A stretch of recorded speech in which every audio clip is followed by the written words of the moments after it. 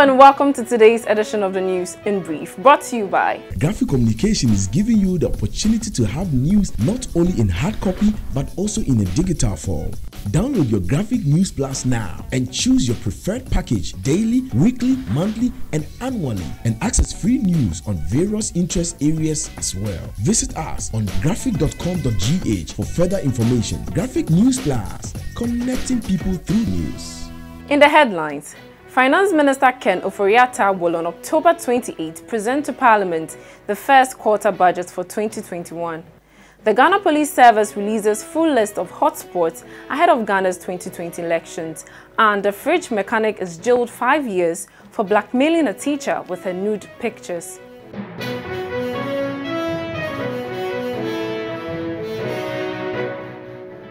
Now the news in brief.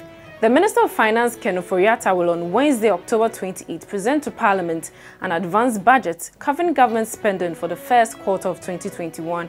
The Minister of Parliamentary Affairs, Mr. Osei Kyei Mensah-Bonsu, disclosed this when he presented an explanatory memorandum on Parliament's business statement on Friday, October 23.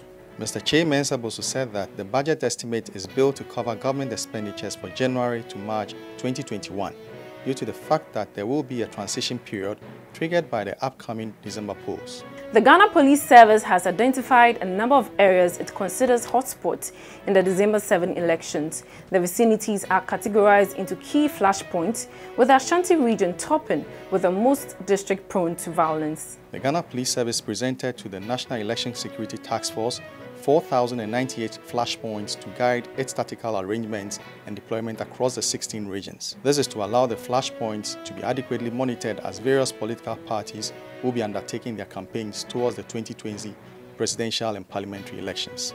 And in our last story, a 27-year-old refrigerator mechanic apprentice has bagged five years in jail for threatening to post the nude pictures and videos of a teacher on social media.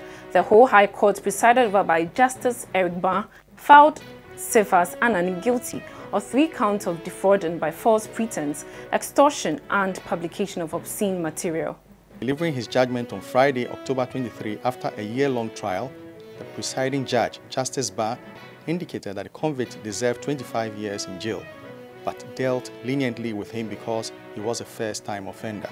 He said that the convict's sentence was to serve as a deterrent to others. Anani was reported to have had online conversations with the victim with a fake account and used a photograph of Prince William of the United Kingdom to convince the victim to send her nude pictures and videos to his fake account via Messenger. The judge concluded that the threat of publication was to blackmail the teacher for money. Thank you for watching. That's all we have for today. For more news, visit graphic.com.gh or log on to Facebook at Daily Graphic and on YouTube at Graphic GH. I am Juliet Echansafo.